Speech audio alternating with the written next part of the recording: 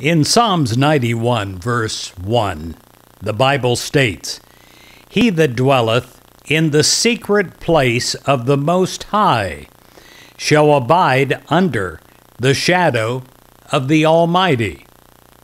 There is a secret place of the Most High, and it's inside of you. You can tap this, you can be in this. Within you is a serene and a holy place, a place of higher consciousness, a place that is part of you, and a part of you always dwells in this place of higher consciousness, this secret place of Most High, even when you're going about normal daily activities. You can, and through prayer and meditation.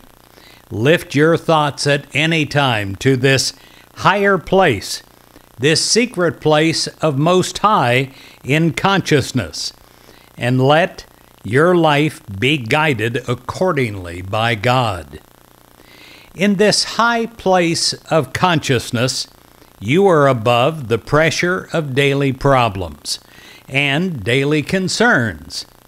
From this high place, this secret place of Most High in consciousness, you see the nothingness of worry, of uncertainty, of anxiety. In this secret place of Most High, you're free and you're loving, you're peaceful, and you see things in their right perspective.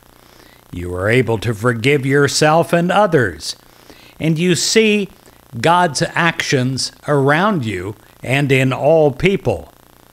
You have the power, the energy, the direction to make new beginnings. And you know that the good that is forthcoming in life experiences will come because you're connected with God. And more important, God is connected with you. You let your consciousness rise to the secret place of Most High, and you're guided, and your life is blessed.